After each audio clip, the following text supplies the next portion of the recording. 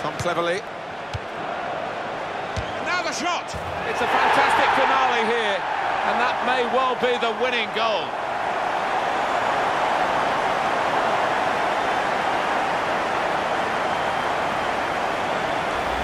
And he's left the keeper looking silly there, beating him from so far out with a proper drive. The goal, wherever you look at it, it was very well taken.